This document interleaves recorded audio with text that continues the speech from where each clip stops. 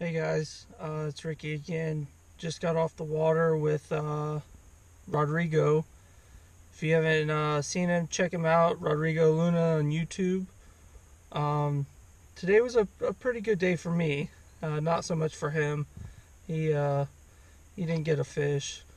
I caught three small bass and missed another one and two pickerel. One being my guesstim- guesstimation, uh, a citation pickerel on a white buzzbait.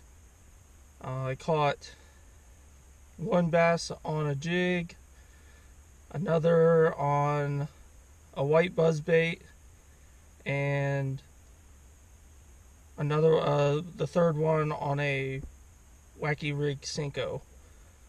Um, the water's starting to warm up. It was about 62 degrees in so in a little shallower water.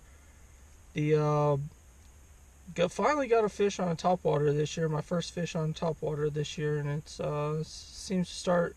They seem to start moving up in the uh, in the water, getting ready to getting ready to spawn. So hopefully, we don't get any uh, super cold water that'll you know stop them from doing that, and we should have a great, great week of fishing here in the next couple weeks. Uh, if you want to know what I was using, what I was fishing on, it'll be linked in the description below. Uh, make sure you slap that like button, subscribed, and enjoy the fishing.